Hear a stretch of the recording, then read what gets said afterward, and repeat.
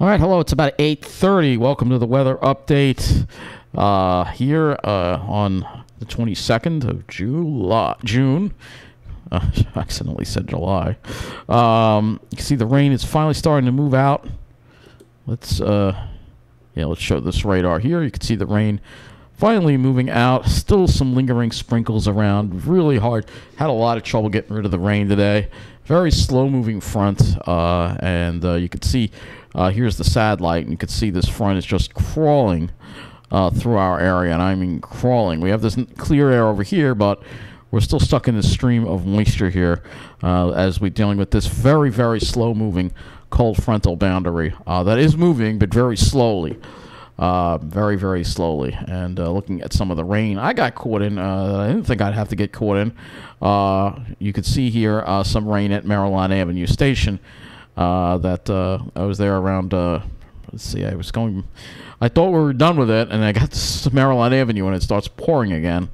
and this is around 646. So, yeah, that's the train I got off of. so, um, just go past these pictures just to show you the sky. Yeah, we had some trains coming through. You could see the sky, uh, just uh, dark skies, and you can see some bright brightening there. This is the Maryland Avenue station. So some of these had nothing to do with the weather, uh, but you can see here. Uh, there's there you go. So here's the pictures of the sky.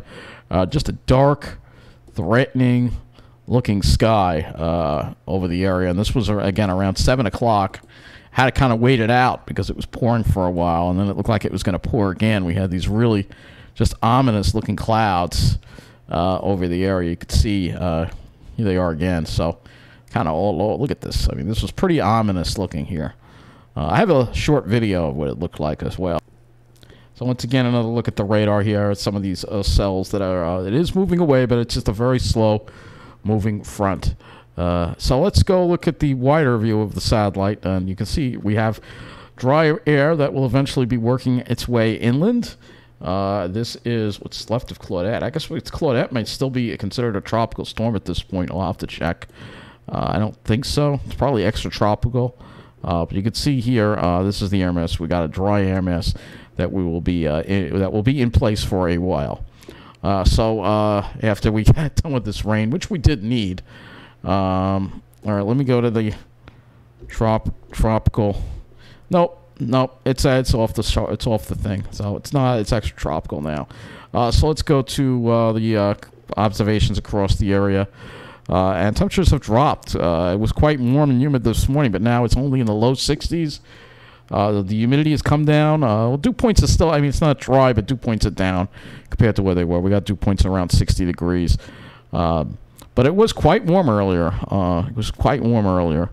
Uh, and uh, it's cooler over Jersey too. So let's go take a look at what those high temperatures were today, uh, because it was uh, quite a hot day across. Uh, uh, it was hot in the morning.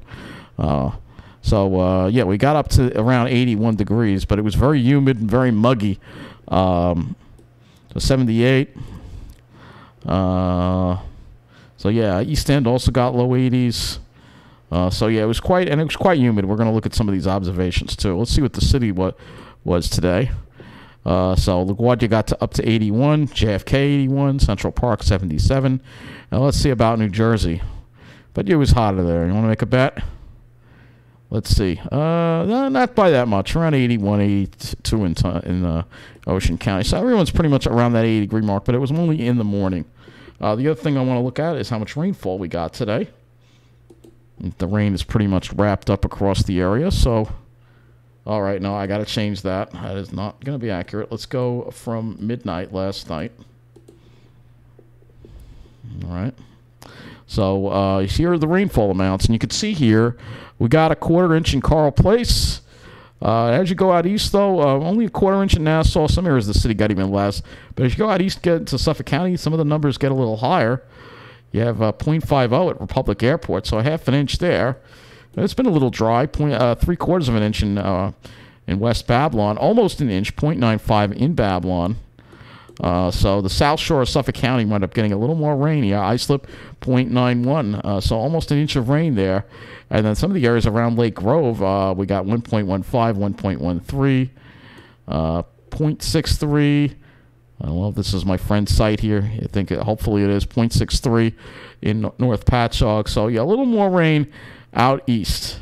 Uh, again, because the front slowed down as it was moving out east. So the uh, also the Riverhead area looks like it got around three quarters of an inch. But then as you get to the Forks, it's a little less, more like a quarter of an inch. But some areas still, Orient's showing 0.60 and Montauk's showing 0.42. So yeah, not huge amounts of rain, but uh, enough to you know, uh, help because it has, it has, been a little dry and we're not really going to have a whole lot of rain in the forecast once again for the next seven days. Uh, so let's go look at New Jersey. Let's see how they did. Uh, looks like they've got a healthy amount of rain. Well, t- depending on where you were, 0.35 up by Lakewood. Uh, Toms River only 0.14. But then as you go south, 0.62 at Lanoka Harbor. They had that pretty good thunderstorm last night. And uh, th- this is, it really wound up hitting this area pretty hard. This is Harvey Cedars, 1.92 inches. That was a pretty good thunderstorm that uh, I showed some images of. Uh, let's see if I can get some of those images on the screen for you. 0.6, uh, 1.64 in Beach Haven, so 1.17 in West Creek. So, yeah, Southern Ocean County into Atlantic County, around an inch or more. Uh, where, the, where those storms hit. Uh, but as you go into the central northern parts of Ocean County, not that much rain. And as you go even further north into central Jersey, it's only around a quarter of an inch of rain. So they didn't wind up really getting that much rain at all. Um, but yeah, it was quite a storm. Let me show you what, it, what that looked like. Yeah, so this is the storm right here. This is what uh, it looked like from Seaside Heights. I was watching it on the Earth Cam, and uh, it's quite impressive. Uh, uh, there were some pretty brilliant flashes, and I even captured this uh, with a couple of lightning strikes here. So this was again, this is the storm that went into uh, south of Toms River. Toms River didn't get it, but it did hit um, the areas. Ironically, the same areas that were affected by that power outage: Lacey, Waretown, maybe even a little further south than that, more like maybe Stafford uh, Barnegat, uh, Long Beach Island, that that that area. Uh, so uh, yeah, they got they got hit with that storm pretty good, but uh, and where they got hit, they got a little more rain out of it, or should I say, a lot more rain out of it uh, than the rest of us. I noticed there is a 1.57 showing here at Bayshore, but I'm doubting the accuracy of that because the other stations around it are not reporting as high of the rain. But the bottom line is, uh, most areas, not everybody, but a lot of areas got a substantial amount of rain from this slow moving front and some of the thunderstorms that popped up last night, too, for Jersey. Um, so let's go take a look at uh, what the weather was like here, and we'll go to the one to ground sites again. Uh, and we'll go over, we'll first start with uh, Carle Place. So I'll show you what happened here with Carle Place. Uh, so 62 in Carle Place right now, but earlier it was quite warm, and you see in the morning the way it was. Uh, we had a conditions around 80 degrees, and the dew points were up there too as well. So it felt quite warm and muggy. But then uh, the cold front passed, and uh, the temperatures dropped. The cold front's through. This is sort of an ana cold frontal passage, which means it's a slow mover, and you have precipitation behind the front instead of just ahead of it. Uh, so that's why uh, you're having this rain lingering. But you could see before it moved through in the morning, it was pretty warm, and uh, it was warmer at 10 o'clock in the morning than it was at three o'clock during the day, which is usually not what happens. Um, so that's you know that's generally not what happens. Uh, but that is what most areas on Long Island experienced today. So let's go and look at the forecast and show you what we're going to have coming our way, which should be some nice weather. So we're going to look at the GFS here and uh, take a look and see. Uh, we have this big, beautiful high pressure that's going to be coming over our area tomorrow. That high uh, sticks around our area. It sticks over the northeast for Thursday and perhaps into Friday too. Though the GFS is now showing maybe a slight chance of precipitation uh, with more of that damp easterly flow that we might get.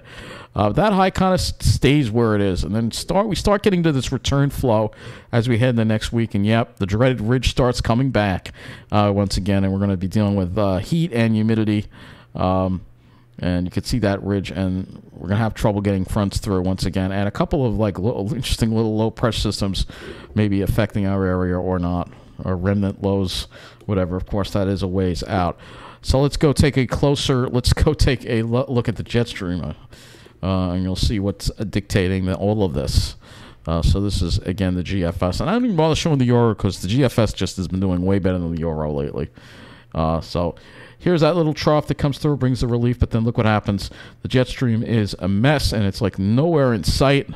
Uh, and as a result of that, we are going to start suffering.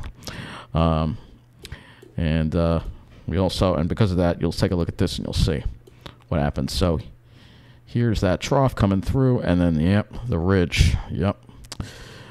So, yeah, we're going to be dealing with that ridge for a while. And they're dealing with that ridge in the uh, Pacific Northwest. If we go to the observations and we just go to air temperature, we'll just do that. If we pull this out, you'll see there's a lot of heat out west. Uh, and they have some warnings out in these areas here. And it looks like they have a, what is this? Excessive heat watch from Friday afternoon through Tuesday evening. So the Pacific Northwest is also going to be getting into some heat. You also have red flag warnings in effect, uh, excessive heat watch and red flag. This is a different color. Uh, red flag warning. So it's going to be quite hot in, in this area, unusually hot. And you, you know, you used to never, ever, ever see temperatures this hot uh, in the Pacific Northwest. But now, due to climate change, we're seeing that quite often. Uh, so uh, when we look at our temperature anomaly chart here, which is what we're going to be pulling up next here on the GFS, uh, you'll see here comes uh, we're below a little bit below normal tomorrow, a little bit below normal tomorrow, close to normal on Thursday and Friday.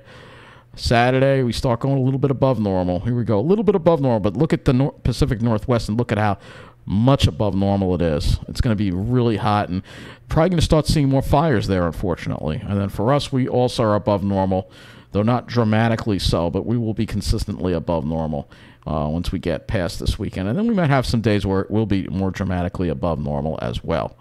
Uh, so, yeah, very uh, warm conditions. And if we go to the Pacific Northwest, let's uh, change the, let's go to regions. And I don't normally do this, but uh, the west has just been baking. We'll just go to the west. Actually, we'll just look at the temperatures here because it's just been unbelievably hot and dry, and that trend is going to continue.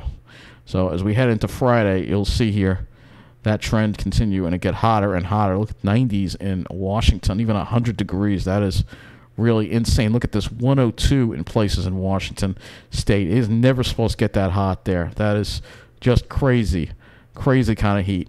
Uh, and uh, we're going to have to watch for uh, another massive uh, chance for wildfires in this whole the whole West Coast uh, as we head later into this month. I think it's gonna. I think it could have the potential to be pretty bad.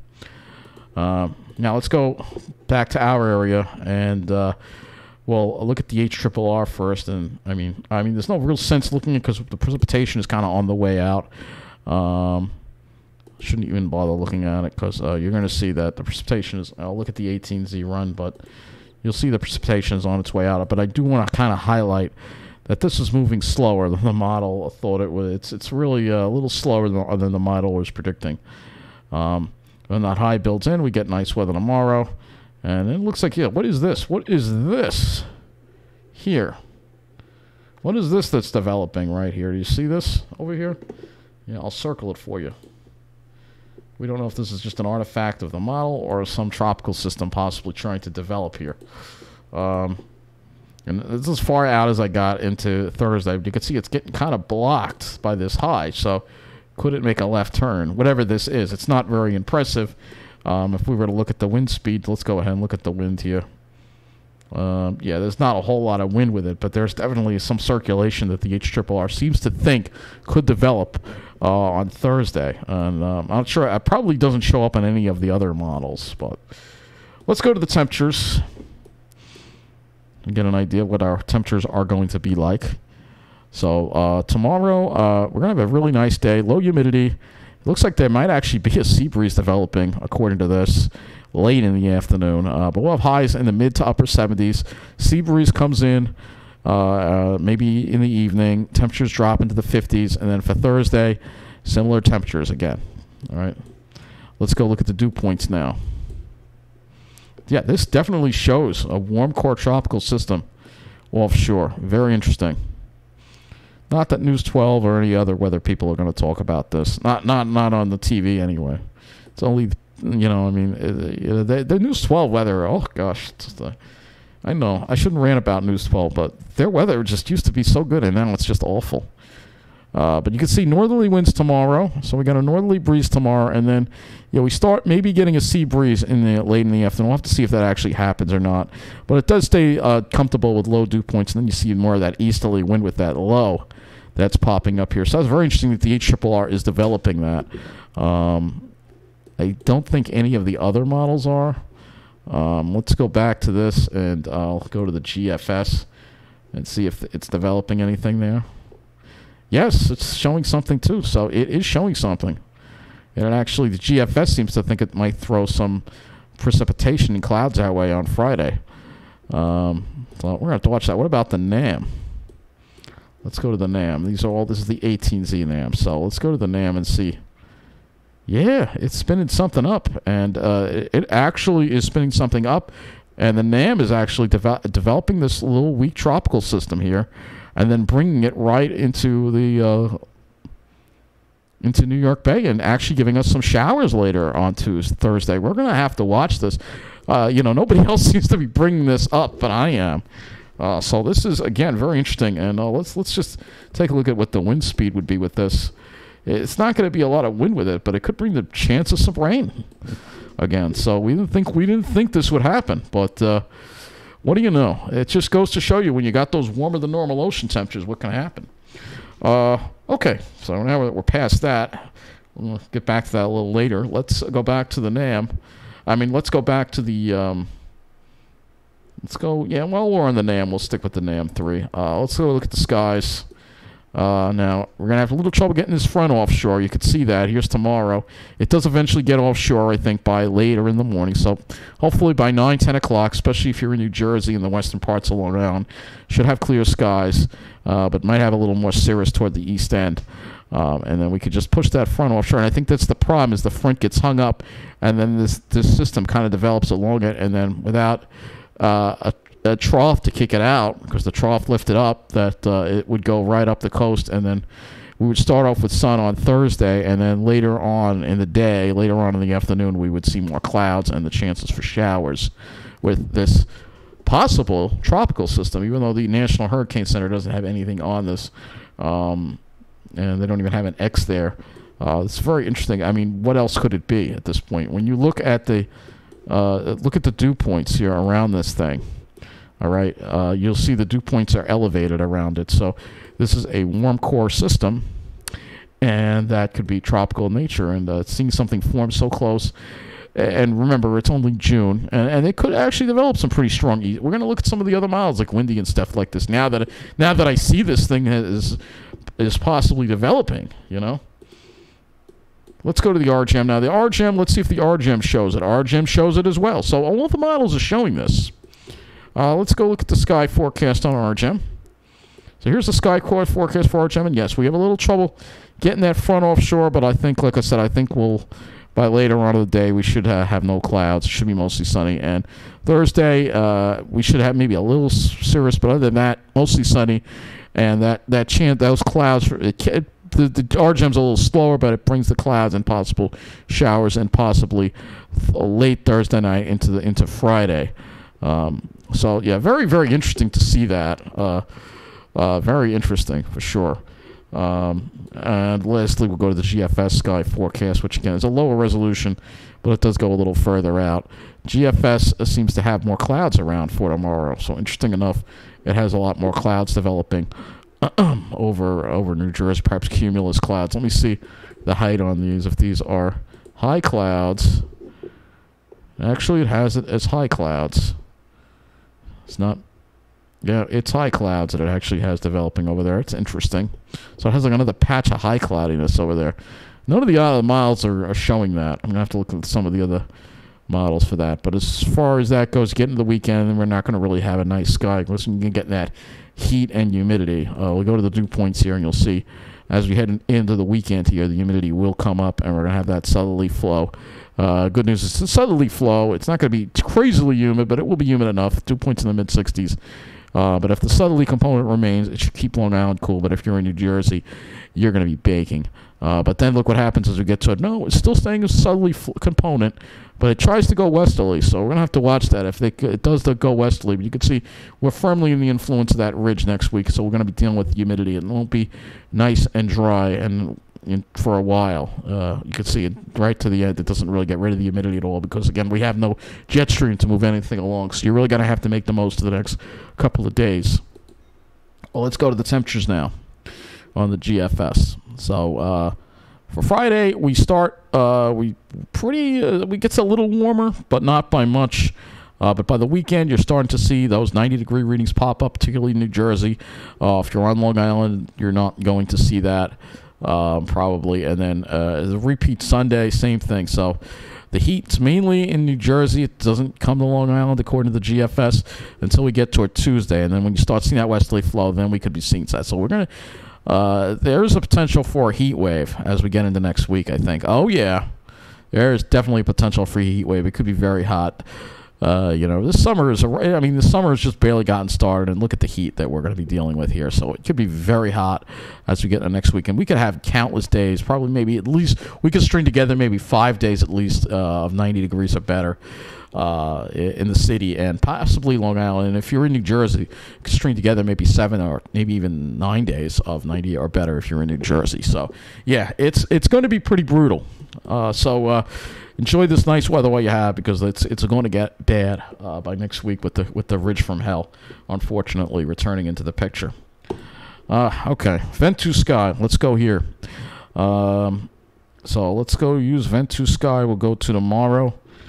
And uh, look at tomorrow here. So this is Ventusky, 1 o'clock. See the northerly flow. Um, this is the based on the HRRR, but you can see it's developing somewhat of a sea breeze by the afternoon.